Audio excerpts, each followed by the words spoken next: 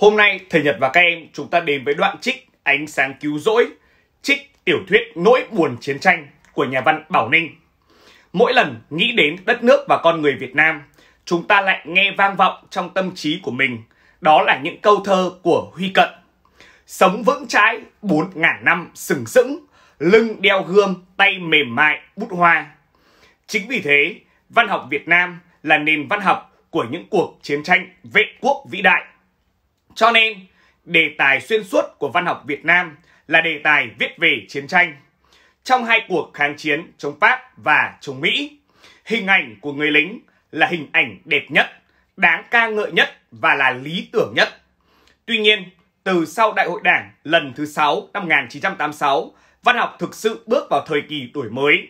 Văn nghệ sĩ thực sự được cởi trói, họ được quyền nhìn thẳng vào sự thật, đánh giá đúng sự thật, nói rõ sự thật.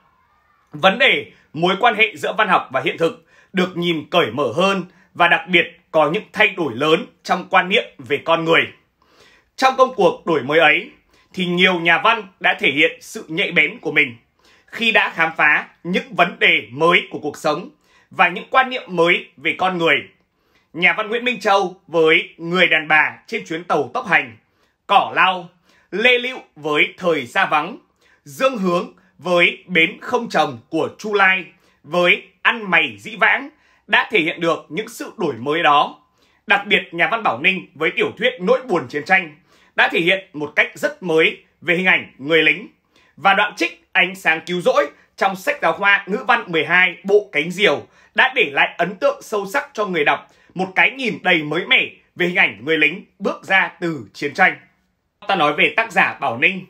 Bảo Ninh tên thật là Hoàng Ấu Phương sinh ngày 18 tháng 10 năm 1952 tại huyện Diễn Châu, tỉnh Nghệ An, quê ở xã Bảo Ninh, huyện Quảng Ninh, nay thuộc thành phố Đồng Hới, tỉnh Quảng Bình. Ông xuất thân trong một gia đình trí thức, là con trai của giáo sư Hoàng Tuệ, nguyên viện trưởng Viện Ngôn ngữ học. Hiện ông sống và làm việc tại Hà Nội. Bút danh Bảo Ninh được lấy theo địa danh xã Bảo Ninh, quê hương ông. Ngoài tác phẩm Nỗi buồn chiến tranh thì Bảo Ninh còn có nhiều những tác phẩm khác góp phần làm phong phú thêm văn chương của Việt Nam. Ông đã viết tiểu thuyết, viết truyện ngắn và sáng tác thơ, tạo dựng những câu chuyện và hình ảnh độc đáo về cuộc sống và những trải nghiệm của con người trong hoàn cảnh đặc biệt của cuộc chiến tranh. Tác phẩm của Bảo Ninh không chỉ được người đọc trong nước yêu mến mà còn nhận được sự công nhận của quốc tế. Bảo Ninh đã nhận được nhiều những giải thưởng và vinh dự trong suốt sự nghiệp văn học của mình. Và chính điều ấy góp phần khẳng định vị thế của ông trong nền văn học thế giới. Về tác phẩm, năm 1991, tiểu thuyết Nỗi buồn chiến tranh của Bảo Ninh được in lần đầu tiên năm 1987 tên là Thân phận của tình yêu, được tặng giải thưởng Hội Nhà văn Việt Nam và được chào đón nồng nhiệt.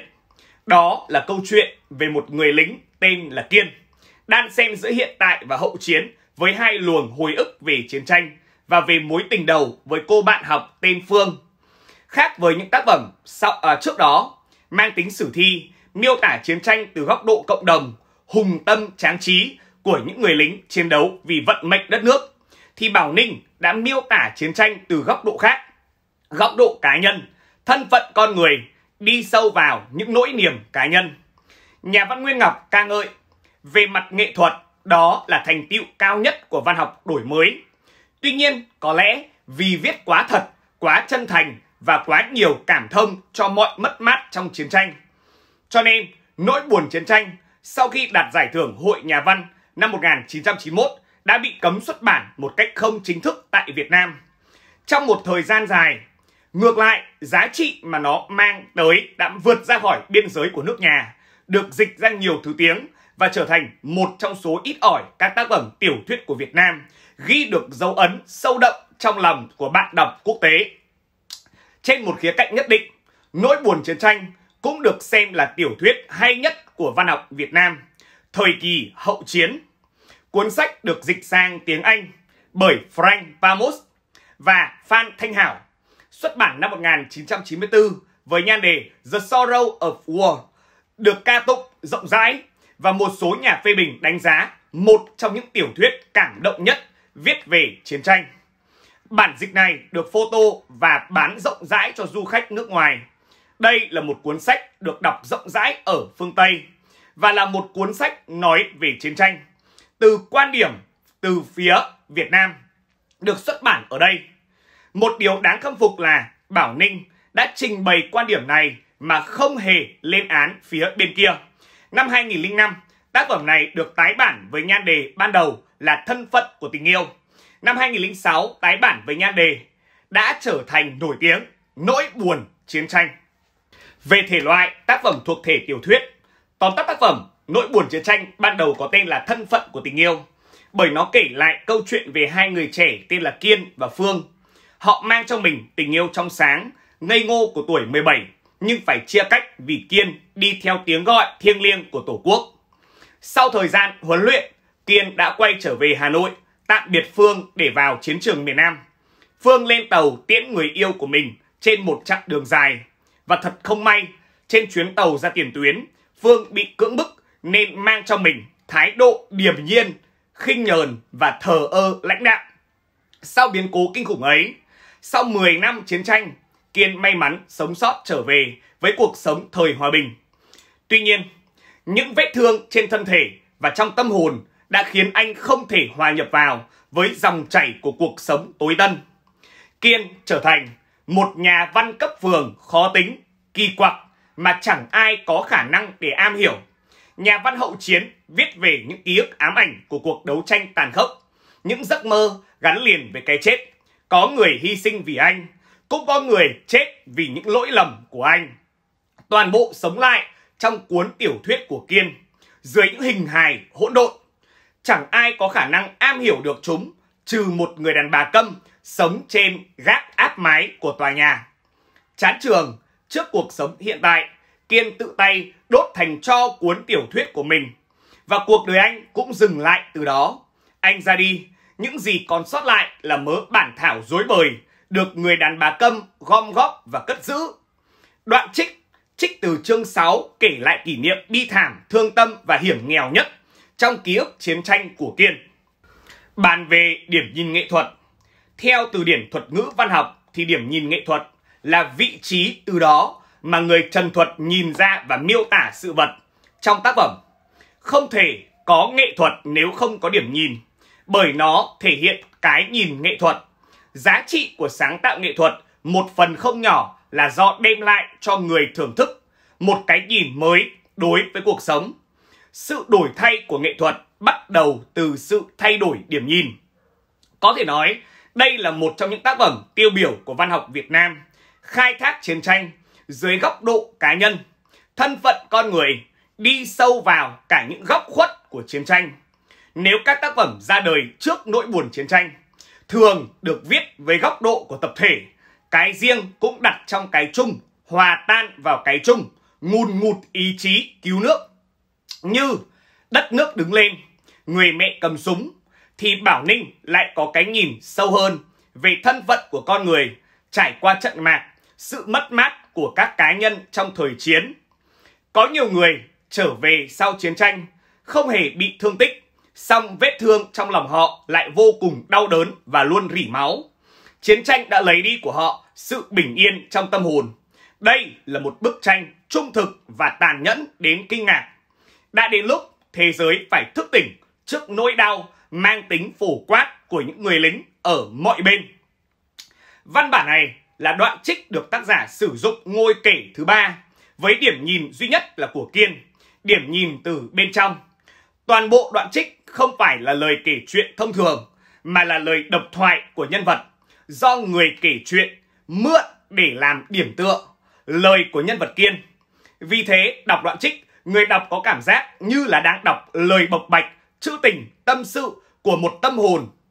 Qua đó, những hồi ức về chiến tranh và cả những rằng xé trong nội tâm của nhân vật hiện lên rất chân thật và vô cùng sống động. Ý nghĩa của nhan đề Ánh sáng cứu rỗi Nhan đề đoạn trích để lại ấn tượng sâu sắc và khơi gợi nhiều cách hiểu.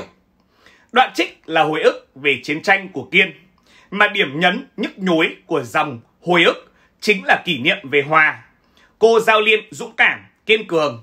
Trong tình thế ngặt nghèo khi phải đối mặt với kẻ thù, Hòa đã chọn sự hy sinh để mang lại sự sống cho đồng đội. Nên có thể hiểu cô chính là thứ ánh sáng đẹp đẽ, đã hy sinh cả sự sống của mình để mang lại hy vọng cho đồng đội. Chính vì thế, ký ức về cô cũng như một nguồn sáng chiếu rọi vào tâm hồn đầy ẩn ức của Kiên. Tuy nhiên, cũng có thể hiểu ánh sáng cứu rỗi ở đây là tất cả những ký ức về chiến tranh, về đồng đội, về những mất mát hy sinh gian khổ. Như một thứ ánh sáng kỳ diệu đối với Kiên, người sống ở thời bình nhưng tâm hồn đã mãi mãi để lại nơi chiến tranh. Đúng nào? Sứ mệnh của Kiên là phải trở thành nhà tiên tri của thời quá khứ. Ánh sáng của nỗi buồn soi về quá khứ ấy cũng là ánh sáng thức tỉnh, ánh sáng cứu rỗi của đời anh. Bằng sự trầm mình sâu xa trong hồi tưởng, trong nỗi đau buồn chiến tranh không bao giờ có thể nguôi ngoai, mà anh sẽ tồn tại đến trọn đời với thiên chức là một cây bút của những người đã hy sinh, là nhà tiên tri của những năm tháng đã qua đi, người báo trước thời quá khứ có lẽ đó là ánh sáng của tình bạn, tình đồng chí, tình cảm yêu nước. Mà nhớ về đó, tâm hồn Kiên được cứu rỗi. Trước hết ta khám phá vào nhân vật Hòa. Lai lịch qua lời kể của Kiên, Hòa là một nữ giao liên, tuổi đời chừng đôi mươi, đi bê được 2 năm.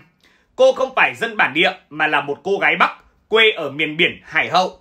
Gái Bắc chứ không phải là gái thượng. Có thể nói cô là hình ảnh tiêu biểu cho thế hệ các cô gái sẵn sàng hy sinh tuổi thanh xuân cho đất nước, cho quê hương, cho dân tộc.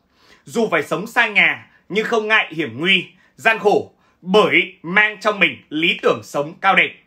Hình ảnh của Hòa khiến người đọc liên tưởng đến những vần thơ viết về những nữ giao liên kiên cường dũng cảm của Đỗ Thế Hưng. Cô bé giao liên là em khi đó, khuôn mặt xinh tươi, dáng hình nho nhỏ, được cấp trên giao chỉ lối đưa đường, lội suối khe vượt đồi núi băng rừng. Suốt cả đêm, ngày không hề mệt mỏi, mặc bom rơi, gió mưa, khát đói. Vẫn hiên ngang đưa bộ đội vượt lên. Đó là bài thơ Tìm gặp em. Vẻ đẹp của tính cách, về phẩm chất, Hòa là một cô giao liên đầy tinh thần trách nhiệm trong công việc được giao. Dù không phải là một cô gái Tây Nguyên, không thực sự nắm rõ hình khe thế núi, nhưng bằng kinh nghiệm và sự hiểu biết của mình thì Hòa vẫn tự tin dẫn đường cho bộ đội đến sông Sa Thầy. Khi phát hiện mình dẫn bộ đội đi nhầm đường, trước thái độ giận dữ của Kiên, Hòa đã thẳng thắn nhận tất cả mọi trách nhiệm về mình và kiên quyết chuộc lỗi bằng cách định tự mình đi tìm đường giữa trốn rừng thiêng nước độc. Nếu Kiên không quả quyết đi cùng, tôi sẽ chuộc tội. Tôi xin chuộc tội này tôi sẽ tìm thấy đường. Tuy chỉ là một cô giao liên nhỏ bé, nhưng Hòa khiến cho người đọc cảm thấy vô cùng khâm phục bởi vì tinh thần trách nhiệm cao, không ngại ngại những khó khăn, gian khổ. Dù phía trước là đầy dẫy những hiểm nguy và thách thức, Hòa mang vẻ đẹp của sự dũng cảm, kiên cường, sẵn sàng cống hiến và hy sinh. Tinh thần tự nguyện hy sinh cho đồng đội coi cái chết nhẹ tựa lâm hầm của Hòa được hiện lên qua dòng hồi tưởng đầy nhức nhối của Kiên. Hòa đã lẳng lặng trườn xa chỗ anh nấp. Hòa quăng khẩu súng hết đạn về phía bọn Mỹ đang trồm dậy và xoay người chạy lao ra khỏi rừng băng vào trong trảng. Bọn Mỹ không bắn, dầm dập đuổi theo. Chúng lao như gió, có lẽ ngay lập tức đã đuổi kịp Hòa. Chúng gieo ổ lên, chỉ dừng lại ở đó thôi cũng đã đủ để chúng ta thấm thía sự dũng cảm của Hòa khi sẵn sàng lấy sự sống của mình để đánh đổi lấy sự sống của đồng đội. Sàng trở thành mồi nhử cho kẻ thù để chúng không phát hiện ra Kiên và nhất là đoàn tải thương của bộ đội.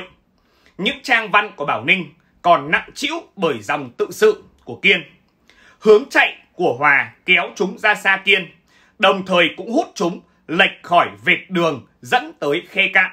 Bởi khe cạn là nơi đoàn tải thương đang đợi Kiên và Hòa về để dẫn đường tới sông Sa Thầy. Phải chăng trong tình thế hiểm nghèo nhất, cấp bách nhất, người con gái ấy vẫn kịp tính toán một sự tính toán của lòng dũng, dũng cảm và chọn cho mình một hướng chạy chính xác nhất. Vậy là Hòa đã xác định đúng hướng, không hề lạc đường trong lần cuối cùng. Có thể là như vậy. Cô làm nhiệm vụ giao liên của cuộc đời. Hòa chính là hình ảnh đẹp đẽ nhất của một thế hệ thanh niên đã hóa thân cho dáng hình xứ sở để làm nên đất nước muôn đời, như những vần thơ của nhà thơ Nguyễn Qua Điểm. Nhưng em biết không, có biết bao người con gái, con trai trong 4.000 lớp người giống ta lứa tuổi. Họ đã sống và chết, giản dị và bình tâm. Không ai nhớ mặt đặt tên, nhưng họ đã làm ra đất nước. Theo ta nói đến nhân vật Kiên. Nỗi buồn chiến tranh thuộc loại tiểu thuyết chỉ có một nhân vật chính là Kiên, xuyên suốt trong toàn bộ thế giới truyện. Các nhân vật khác đều là phụ, xuất hiện chỉ thấp thoáng trong các tình tiết.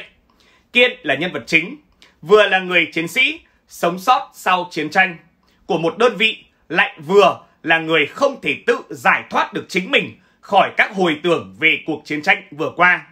Và các đồng đội của anh đã mất như một chứng bệnh trầm cảm. Kiên trong mối quan hệ với Hòa, một con người đầy tinh thần trách nhiệm.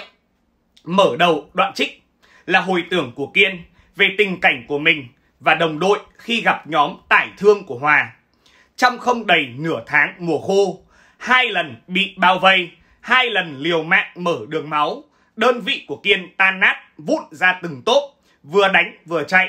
Có thể nói ngay từ câu văn mở đầu đoạn trích thì Bảo Ninh đã không hề né tránh mà đem đến cho người đọc một cái nhìn chân thực nhất về chiến tranh. Chiến tranh là gắn liền với đau thương, mất mát và hy sinh gian khổ. Qua đó, nhà văn đã giúp cho thế hệ hôm nay hiểu rõ hơn về sự khốc liệt của cuộc chiến và cất lên tiếng nói tố cáo chiến tranh, sự xâm lăng, sự phá hoại hòa bình, phá hoại sự bình yên vốn có của con người. Thì Kiên hiện lên trong mối quan hệ với Hòa. Cô Giao Liên dũng cảm, chỉ gắn bó với anh trong một khoảnh khắc của cuộc chiến.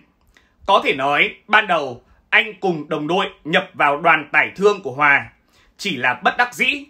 Và một trong những lý do khiến anh cảm thấy không hề thoải mái khi nhập đoàn là bởi vì Hòa là Giao Liên dẫn đường. Nhưng không phải Giao Liên bản địa.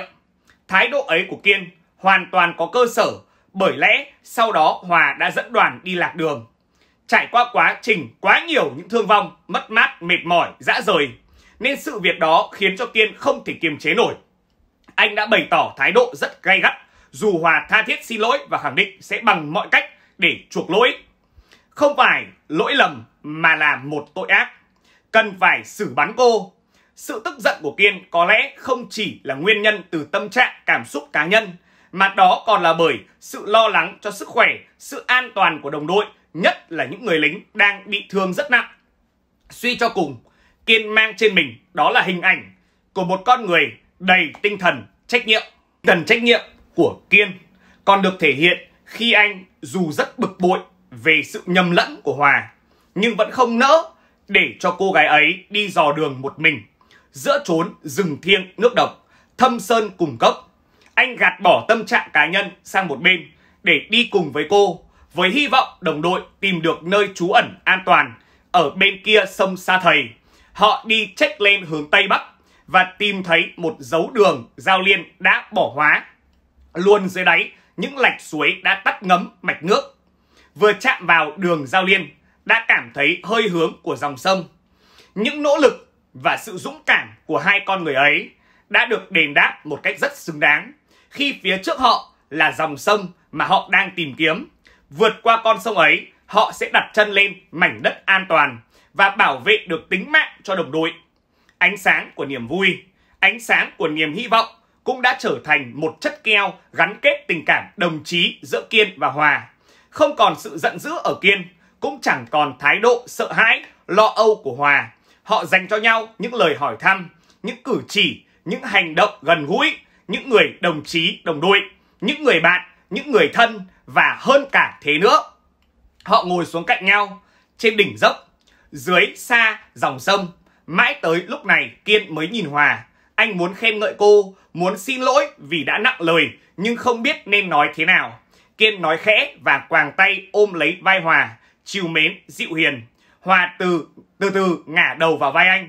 Họ ngồi tựa vào nhau như thế một lúc nữa, một lúc lâu. Trong khoảnh khắc ấy, chiến tranh tưởng như đã lùi xa vào một góc khuất nào đó.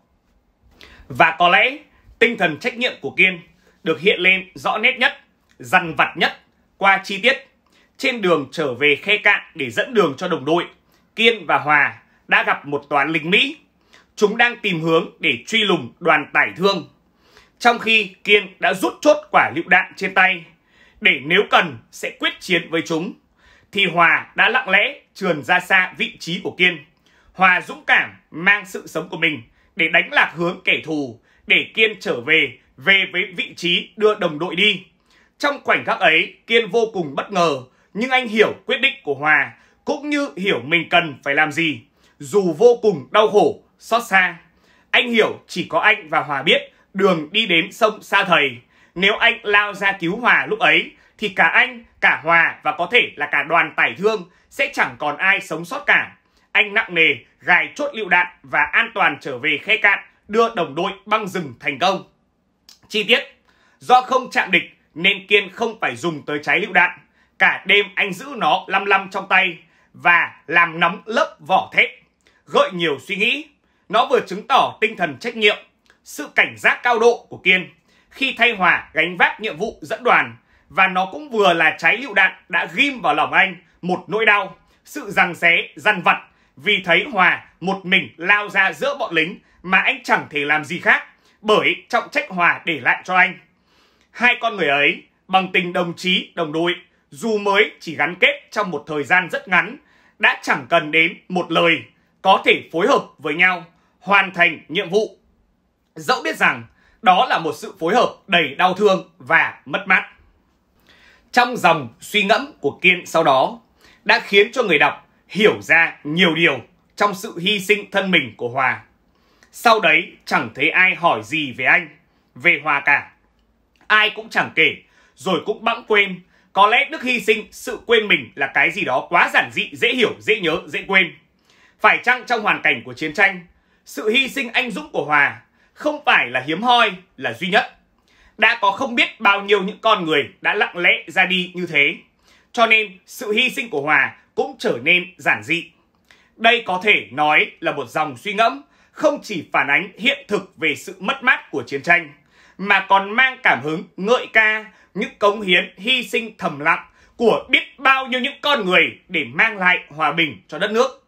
Ấy vậy mà có một thời người ta đã hiểu sai và kết tội những trang văn của Bảo Ninh. Tiên trong thân phận của một nhà văn thời hậu chiến, coi nỗi buồn chiến tranh như một thứ ánh sáng cứu rỗi. Nhân vật Kiên của Bảo Ninh hiện lên thật nhức nhối, xót xa và khác biệt so với một số nhân vật người lính thời hậu chiến của các tác giả cùng thời. Những ai đã từng đọc Thời xa vắng của Lê Lựu hẳn còn nhớ nhân vật Sài, người lính trở về sau chiến tranh. Nếu đặc trưng bản thân của Sài là thái độ quan liêu, nghĩa là Sài cũng ghi xương khắc cốt rằng mình lớn lên, bắt đầu làm người thực sự từ trong chiến tranh. Song thực chất nó là thế nào Sài không để ý. Ngược lại Sài cứ nhơn nhơn như không, lại còn luôn tự lừa mình rằng chẳng có điều gì mà mình không hiểu và rộng hơn, tự hào rằng ra khỏi chiến tranh mà bản thân cái phần tốt đẹp trong con người mình vẫn còn nguyên vẹn. Thì bề ngoài, Kiên không được như Sài. Dường như anh không ra khỏi chiến tranh, mưu cầu hạnh phúc cho bản thân. Anh không biết. Những trò hưởng lạc, anh không màng. Nhưng vẫn có thể nói, so với Sài, thì Kiên đã vượt lên ở một bậc. Ở chỗ toàn bộ sức sống của anh tập trung vào việc nhận diện chiến tranh. Anh nghĩ về nó, ngày đêm ăn ngủ lúc nào cũng có nó và muốn khôi phục lại bộ mặt của chiến tranh như nó vốn vậy. Để làm được việc đó, anh sẵn sàng để cho ký ức của mình nổi lên hỗn loạn với dụng ý rằng sau đó sẽ tìm cách để kiểm soát nó, lý giải nó một cách chủ động. Chính vì thế, sau bao nhiêu năm, hình ảnh của Hòa, cô gái Giao Liên năm ấy, cùng với những ký ức về chiến tranh vẫn còn nhức nhối trong lòng anh.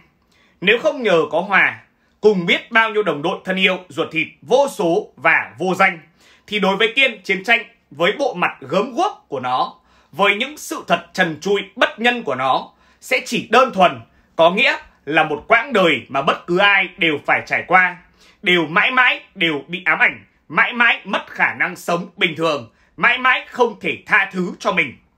Và như vậy, đối với Kiên, sống gắn liền với trách nhiệm, nói thay lời chăn chuối của những người đã chết trong chiến tranh. Những đồng đội thân yêu và ruột thịt và vô số vô danh những liệt sĩ của lòng dân đã làm sáng danh đất nước này và đã làm nên vẻ đẹp tinh thần cho cuộc kháng chiến để làm cho tiếng nói chung của một thời đại đau thương nhưng huy hoàng, những ngày bất hạnh nhưng chan chứa tình người. Không bị chìm quên lãng với sự vô tình của nền hòa bình, thản nhiên hậu chiến. Nhớ về quá khứ cũng chính là cách Kiên đi tìm thứ ánh sáng cứu rỗi cho cuộc đời của mình. Để được thấu tỏ, được sám hối, được là chính mình. Ánh sáng của nỗi buồn soi về quá khứ ấy cũng chính là ánh sáng thức tỉnh, ánh sáng cứu rỗi của đời anh. Tại sao nỗi buồn có khả năng cứu rỗi? Vì nỗi buồn chính là tâm hồn, là một phương diện của tâm hồn con người. Nhờ có nỗi buồn mà Kiên vẫn thực sự sống. Nhờ nó mà Kiên biết thế nào là cái đẹp và giá trị của nỗi buồn đã giúp Kiên hồi sinh trong hành động viết. Nỗi buồn là sức mạnh kích hoạt hành động viết. Với Kiên, thời hậu chiến, sống có nghĩa là viết, hành động có nghĩa là viết. Và viết là để tìm lại nỗi buồn chiến tranh, tìm lại cội nguồn của nhân tính. Ngòi bút của anh chỉ có một con đường duy nhất. Lần trở lại dĩ vãng, làm sống lại sức mạnh được hun đúc từ dĩ vãng, được cất giấu trong quá khứ. Sứ mệnh của Kiên là phải trở thành nhà tiên tri của thời quá khứ. Bằng sự trầm mình sâu xa trong dòng hồi tưởng, trong nỗi đau buồn chiến tranh không bao giờ nguôi, mà anh sẽ tồn tại đến trọn đời với thiên chức là một cây bút của những người đã hy sinh, là nhà tiên tri của những năm tháng đã qua đi, người báo trước thời quá khứ. Tại sao lại báo trước thời quá khứ? Thật kỳ lạ. Cứ như thể tương lai sẽ được làm bằng quá khứ, hay quá khứ chính là nội dung của tương lai. Nhưng nếu suy nghĩ kỹ, sẽ thấy sự sâu sắc của ngòi bút Bảo Ninh. Khi xây dựng nên nhân vật người tiên báo quá khứ này, đến một ngày người ta sẽ lại phải quay lại để nhìn lại những cái quá khứ chiến tranh ấy như nó vốn tồn tại trong thực tế với tất cả mọi sự thật của nó chứ không phải chỉ trình bày nó ở những khía cạnh mà người ta muốn trình bày chỉ nhìn nó ở những khía cạnh mà người ta muốn nhìn thấy nó. Chừng nào những sự thật về cuộc chiến còn chưa được hiển lộ chừng nào quá khứ còn chưa hiện diện trong toàn bộ tính chân thật của nó thì chừng ấy vẫn còn chưa có ký ức lịch sử hoặc chỉ là một thứ, thứ ký ức lịch sử giả mạo. Và chừng đó là quá khứ vẫn chưa phải là thực sự quá khứ. Trong ý nghĩa này, Kiên là nhà tiên tri của những năm tháng đã qua. Về ý nghĩa của đoạn trích, Bảo Ninh viết Nỗi buồn chiến tranh, nỗi buồn tình yêu về một thời đã qua sẽ không bao giờ trở lại. Đọc đoạn trích này, chúng ta hiểu con người đau khổ, chăn trở, nhận thức như thế nào về quá khứ, về chiến tranh về những gì được mất trong cuộc đời. Đó là một bước tiến trên con đường hiện đại hóa tiểu thuyết Việt Nam. Con đường đi tới diễn tả số phận tinh thần của con người, tăng thêm chiều sâu tư tưởng, nâng cao vai trò chủ quan của nhà văn trong sáng tạo nghệ thuật.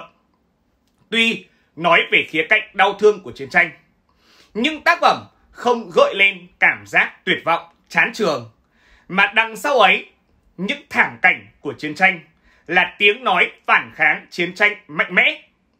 Đằng sau những đau thương, mất mát, hy sinh của những con người là những giá trị nhân văn cao đẹp. Đó chính là khát vọng hòa bình. Đó là sự hy sinh cao đẹp vì đồng đội, là những chắc ẩn của người lính về chiến tranh, về con người và về cuộc đời. Trong ý nghĩa ấy, cùng với cách viết văn tỉnh táo, giàu chất suy nghĩ say đắm chất trữ tình.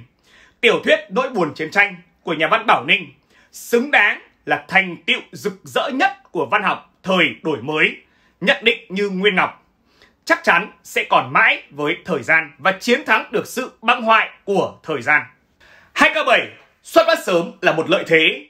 Theo thống kê của lớp văn thời Nhật, thì học sinh ở những khóa trên, anh chị thường được điểm 9 và trên 9 cộng môn văn thị đạo. Hầu hết là những học sinh xuất phát sớm để đạt được điểm cao. Hơn nữa, 2K7 lại là khóa học đầu tiên mà các em học văn theo chương trình mới với rất nhiều những bộ sách, với rất nhiều những bộ đề, với rất nhiều những cách hỏi khác nhau. Bởi vậy, việc xuất phát sớm là vô cùng cần thiết.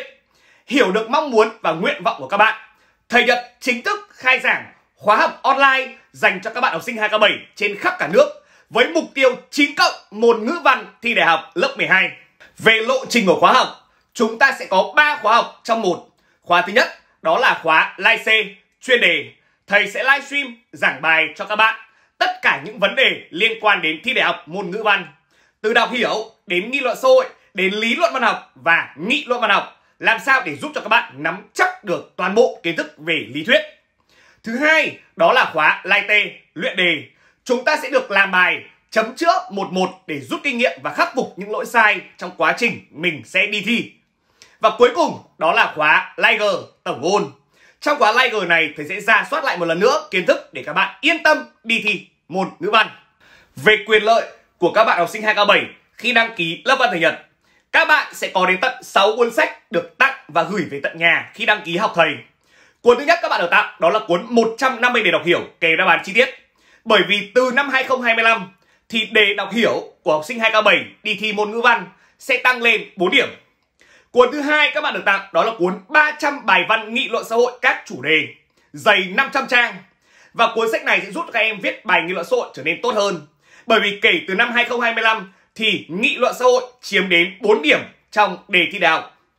Cuốn thứ ba các em được tặng, đó là cuốn sơ đồ tư duy in màu, ngữ văn lớp 12 chương trình mới. Cuốn thứ tư các em được tặng, đó là cuốn lý luận văn học. Cuốn thứ năm các em được tặng, đó là cuốn 50 đề thi minh họa phát triển từ đề thi minh họa năm 2025 chương trình mới của học sinh 2K7. Và cuốn thứ sáu mà các bạn sẽ được tặng, đó là bộ công cụ công phá tất cả các đặc trưng thể loại các tác phẩm văn học, ngữ văn lớp 12. Thầy tin rằng với 6 cuốn sách này sẽ giúp cho các em ôn tập thật tốt bộ môn ngữ văn và chúng ta không phải sợ cái việc thi trong sách hay thi ngoài sách, rồi là học tác phẩm trong sách hay học tác phẩm ngoài sách, rồi không phải lăn tăn về vấn đề là chúng ta sẽ học chân trời hay là kết nối hay là cánh diều mà thầy sẽ giảng cả ba thầy là người trực tiếp giảng dạy và thầy sẵn sàng được đồng hành cùng với các em nếu như khóa 2005 anh chị khóa trên của chúng ta đã có 500 điểm 9 cộng môn văn thi đại học khi là học sinh của thầy thì đối với khóa 2007 thầy tin rằng chúng ta sẽ phá kỷ lục của anh chị khóa trên học phí hiện tại đang được ưu đãi 50% từ 3.600k chỉ còn lại là 1.800k khi các em về với đội của thầy Nhật. Đó là ưu đãi học từ bây giờ cho đến lúc các em đi thi đại học. Vì vậy, nếu các em học văn còn cảm thấy chưa tự tin thì hãy về với đội của thầy Nhật. Thầy Nhật sẵn sàng được trở thành một phần thanh xuân của các em. Cách thức đăng ký học, các em có thể nhắn tin cho page lớp văn thầy Nhật 1,3 triệu follow. Thầy Nhật sẵn sàng được đồng hành cùng với các em và chinh phục điểm 9 cộng một ngữ văn thi đại học. Lớp 12 đăng ký học văn cùng thầy Nhật hoặc đặt sách em nhắn tin cho fanpage lớp văn thầy Nhật. Thầy Nhật sẵn sàng được trở thành một phần thanh xuân của em.